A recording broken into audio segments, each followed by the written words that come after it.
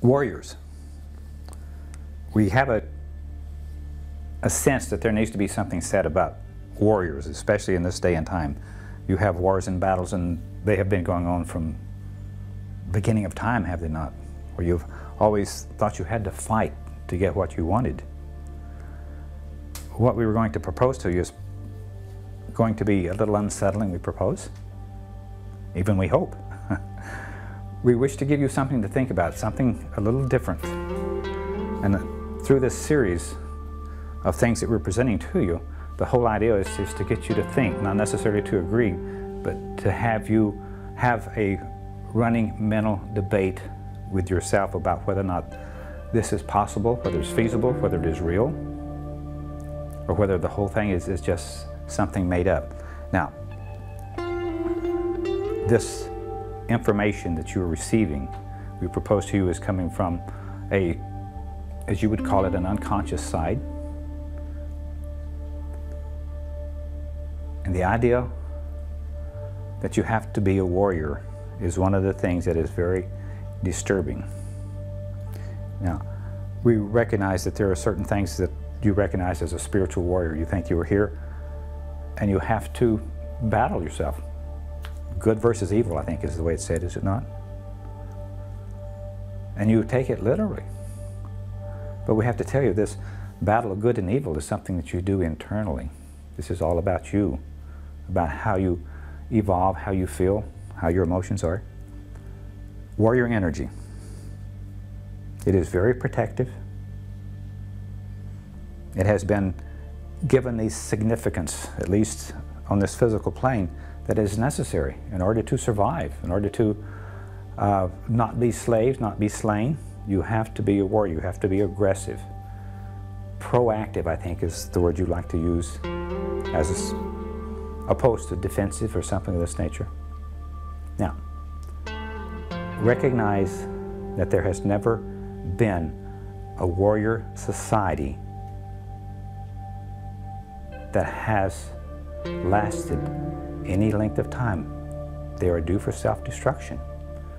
It is a bit of karma, if you will. Whatever you put out comes back to you. What if there was another method? What if you tried love and allowance? What if you trusted your neighbor's societies? What if you chose not to do battle, but rather to love and honor those, to support them? For the most part, you only are defensive if you feel threatened. You only go on the attack if you think it's necessary. If somebody does not pose a threat to you, then you simply do not concern yourself with them. But the moment you become aggressive, a warrior-like, there is an opposition, usually with equal force. Take it on a personal level. If you are kind and loving and considerate to someone else, then it comes back. You create a good friend. You create a relationship that's worthwhile. But if you are aggressive, if you are warrior-like, then everyone you meet is going to return that favor to you. What you put out, you get back, not just on a physical plane on an individual basis, but on the whole of society. Now, we're proposing to you that most of the people, as you would call them, humans, that are on this American plane or this United States, it is most curious. You like to think of the United States as all of America, do you not? when in reality, you have two separate bodies, North and South America, and you occupy not the totality of, of either of those. Yet you are considered to be the policeman of the world. How is it going? How is your country faring? How is your pocketbook, your financial pocketbook? Do you recognize that you have spent yourself into quite a debt simply by trying to be protective and protect everyone else? And anytime there's a little bit of scrimmage someplace else in the world, you think you have to go over and uh, regulate it at the very least. And usually you wind up taking sides and decide this is the one that's right and this one's the one that's wrong. Warrior energies.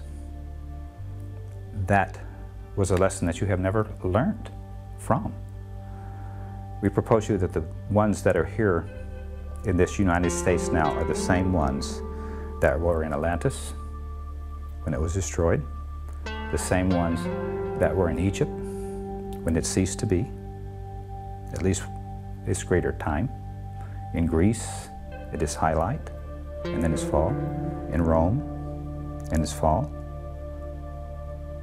Now you are here in this United States and you're still the same warrior energy, most of you.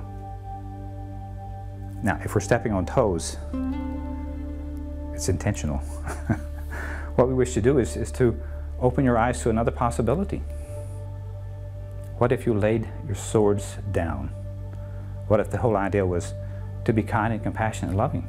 It is much less expensive, much less dramatic to love somebody and support them than it is to bomb them, to kill them, to finance your war effort. And it is all ongoing. Your whole world in this time and space is all about being proactive, being in control of everything that is happening. Your governments, your president,